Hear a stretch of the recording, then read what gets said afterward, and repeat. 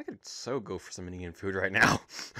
A curry would be very nice. I'm partial to green personally. Ah, I'm pretty much good with any curry. Ooh, that lovely restaurant we go to. That's so nice. Can't wait to go to it again. Ah, well, hello. I'm Lux. And I'm Ember, and this is our thoughts on My Little Pony, Friendship is Magic, Season 6, Episode 12 Spice Up Your Life. I like the way you said that. Ah, and uh, I wasn't quite sure about the beginning of this meeting because, like, do you want to trust a castle map that's flickering like that and had kind of like seizures before it figured out that it wanted Rarity and Pinkie Pie? Uh, even though it worked out in the end, but I'm like, are we sure we should trust the map now? I know, that was a lot of flickering and that was a lot of false starts. What if all of those ponies were actually needed in all those locations? Hmm, that's a good point. Never thought of that. Even the double twilight, because that could actually represent starlight, or it could represent that twilight is desperately needed, or that we need a time traveling one. Yeah, I was gonna say, or time travel happened. And I love how Spike was like, Yeah, this thing's not working. Thanks to her. Thank you for being so blunt again, Spike. I'm gonna put you over here now. Mm-hmm. We're, we're supposed to be trying to move forward from the past. You know, unlike Trixie, we've actually forgiven Starlight. mm-hmm. I was also a little confused on how the rating systems apparently work.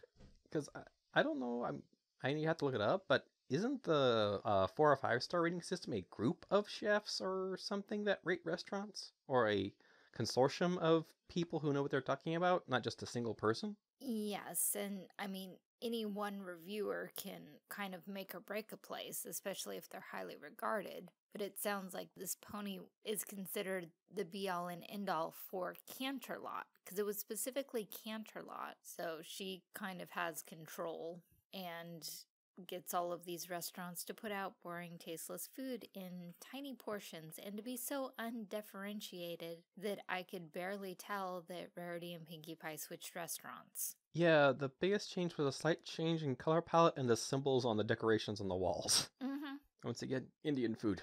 I want some now, damn it. Though I gotta say that eh, my ears may not be the best for this, but I gotta say that Saffron's Indian accent felt more real compared to her father's, which felt more like the classic fake Indian accent. I am very terrible with accents, so I don't really have an ear for them at all. Well, I'm just saying, based on my experience with um, fake Indian accents I've heard in other media programs, that his sounded more fake compared to hers. Though I could be wrong. I'm just stating that based on because it's all this is just our thoughts. yeah, so if I'm wrong, it's okay. Say it to me gently in the comments. Please be gentle.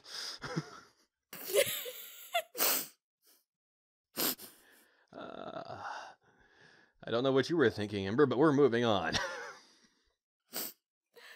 Uh, nothing, nothing.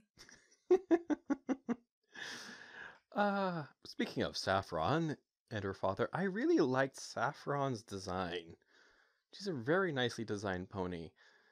Though, what's really funny, as I was drawing her, I was like, wow, she feels a lot like Pinkie Pie in base design. I think it's because of the way they did her hair, how it has a similar looping design compared to Pinkie's. Especially, I really noticed it when I was in the line art stage, because that is just the no color influence whatsoever. It's just the base model of the pony with the hair and mane.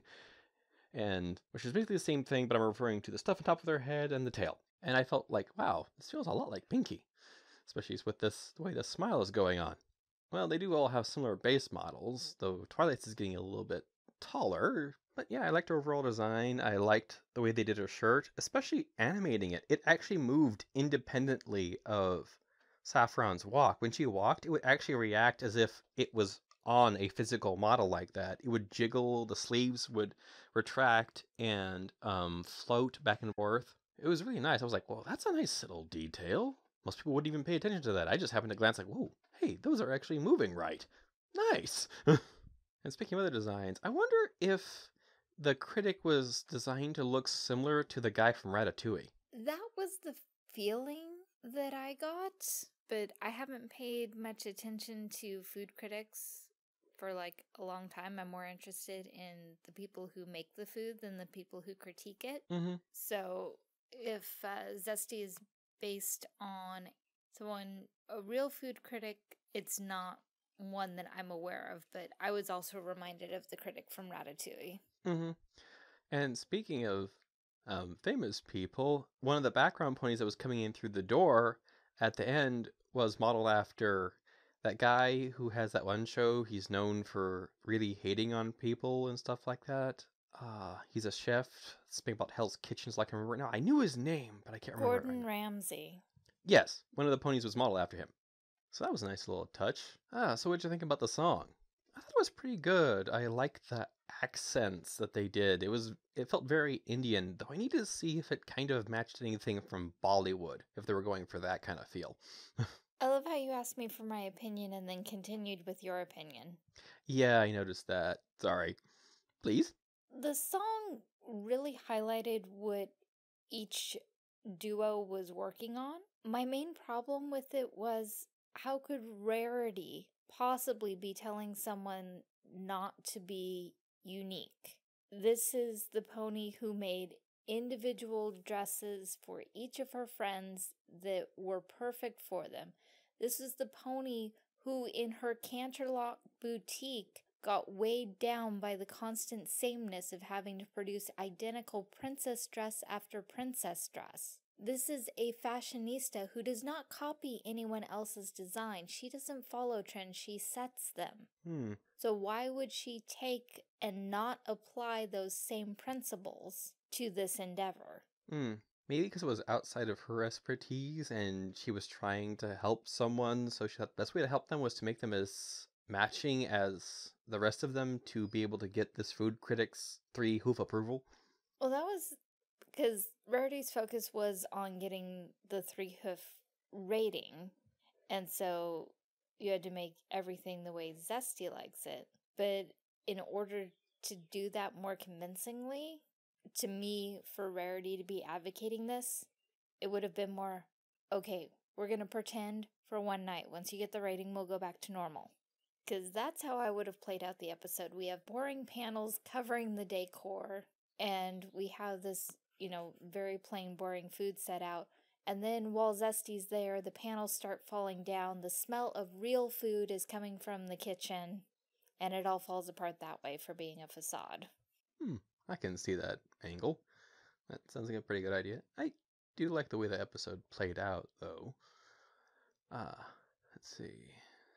Oh yeah, it, Pinkie Pie's expressions throughout are awesome, especially when she's tasting the bland food. It's like it just gets progressively worse.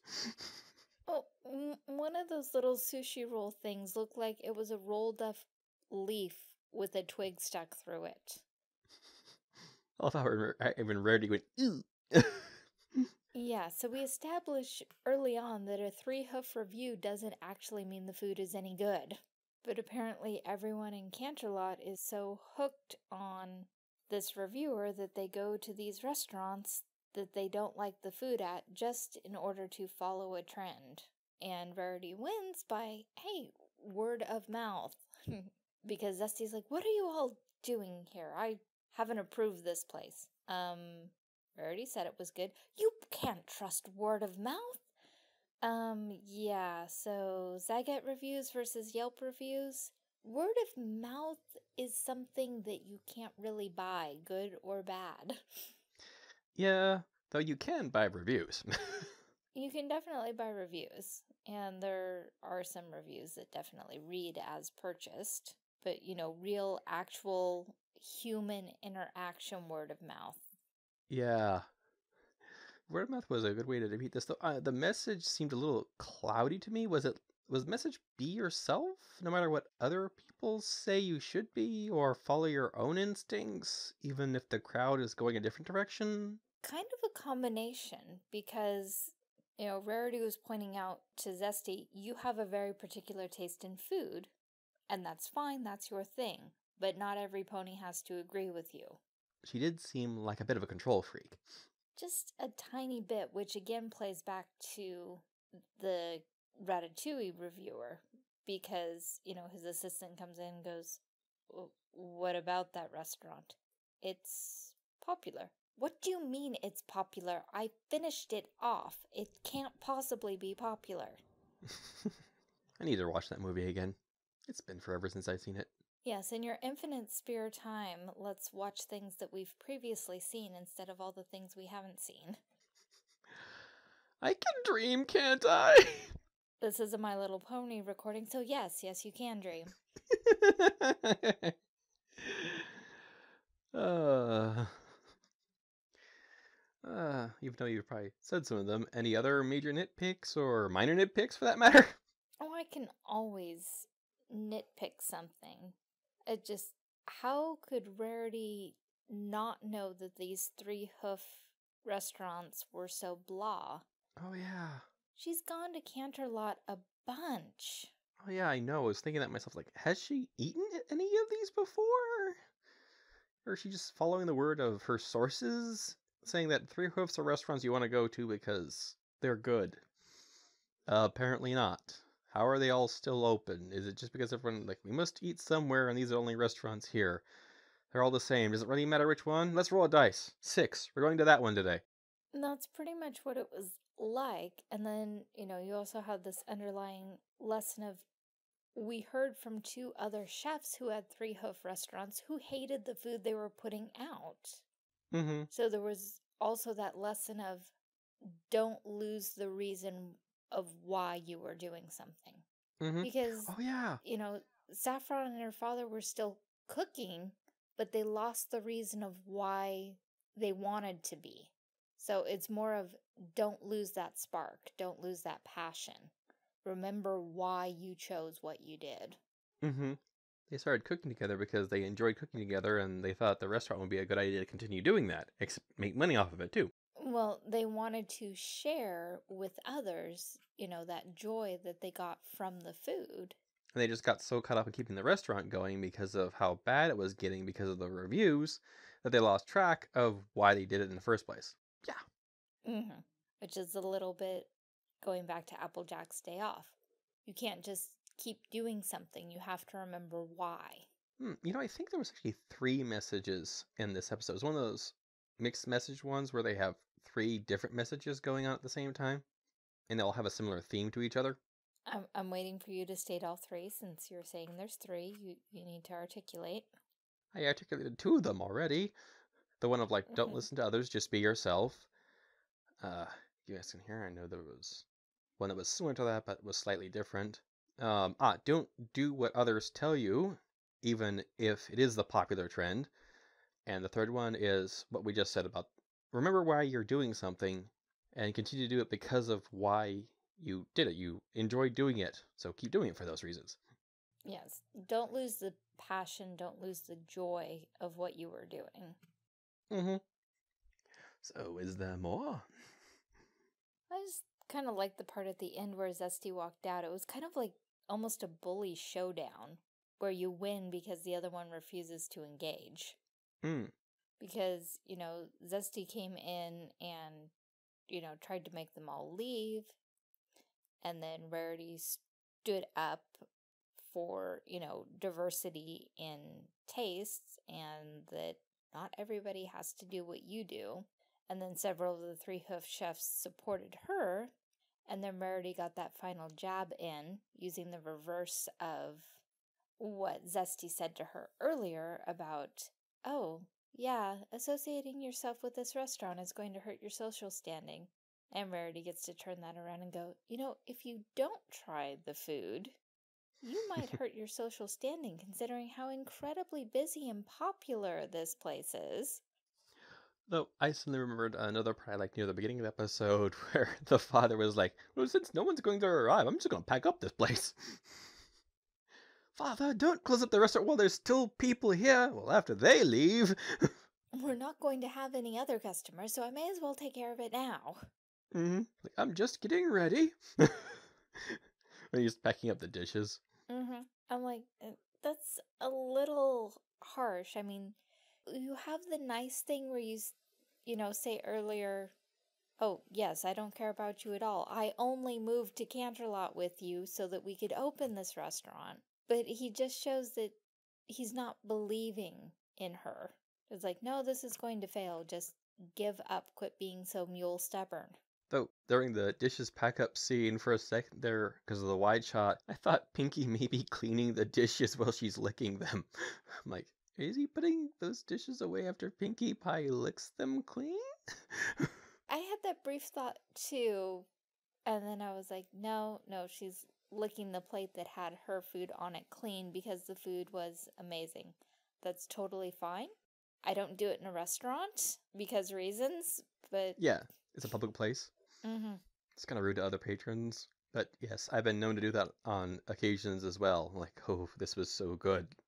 Lick, lick, lick. Or you just use the spoon and or whatever utensil you have and just scrape as much of whatever sauce is left off. And you're going, I wish I had some bread for this.